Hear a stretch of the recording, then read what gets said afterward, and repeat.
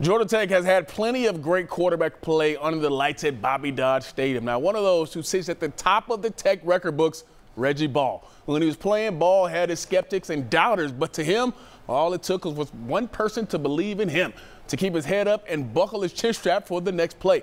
Our Miles Garrett has the story.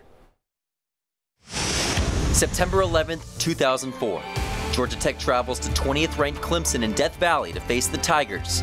Under center for the Jackets was the defending ACC Freshman of the Year, Reggie Ball. I didn't care how it was going to happen. I was not losing that game. With under two minutes to play, down 10, Ball led the comeback. Ball from under center, sets, throws, Johnson's there. It is touchdown! Oh! Touchdown! Calvin Johnson! Touchdown. Son of a gun! He is absolutely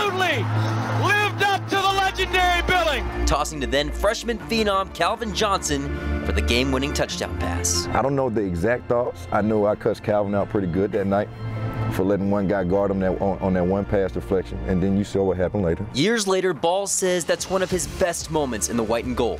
He ranks in the top three of nearly every Tech passing stat, yet he still has dealt with fans all over the state who shared criticism even after he left the Jackets.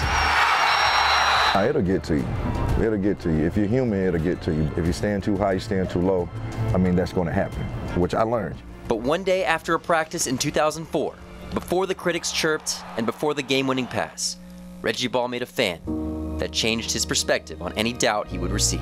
I would play catch with him. I would catch up with him. Um, keep in con constant contact with him. But I mean, it was just a fan that wanted to say, hey, you know, I got this situation going on, but that's not going to stop me from asking one of my favorite players to play catch. Seven-year-old Carter Martin had battled Ewing sarcoma for just over a year.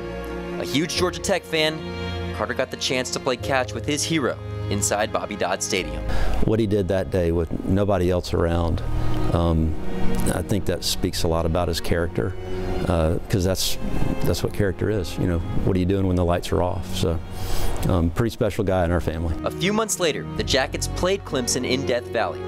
Carter, now with just days to live, watched with his family as Ball led the comeback. He fought his dad to stay up and hear the last play on the radio when we were down 13 and he was like, "No, they're going to win. They're going to win. They're going to win." Carter was pretty proud of his of his quarterback at that at that that night. He was, um, and you know, and he knew he thought he thought that was his buddy out there playing. I, I, was being a Tech fan and was just about to give up, and Carter would not give up, and uh, he held in there, and. Uh,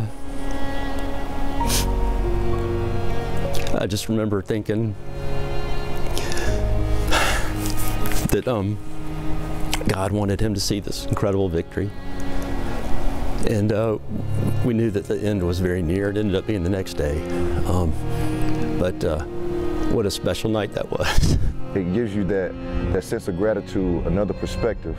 Um, um, it lets you know, man, everything can be over like that. You know what I'm saying? And, you know, that, that kid's dream was to come out here and play catch with me. You know what I'm saying? So again, perspective and gratitude, it just highlights everything that goes along and every emotion that goes along with being just grateful. So seeing that stance that they had, I thought, okay, maybe Carter's going to be an athlete like Reggie Ball. And I thought, wow, how great would that be? But, you know, as um, that story has unfolded and the man that Reggie is and the man that he's been to our family, that is what I would have liked to see Carter model is not his athletic ability, but who he is as a man, because that's way more important than football.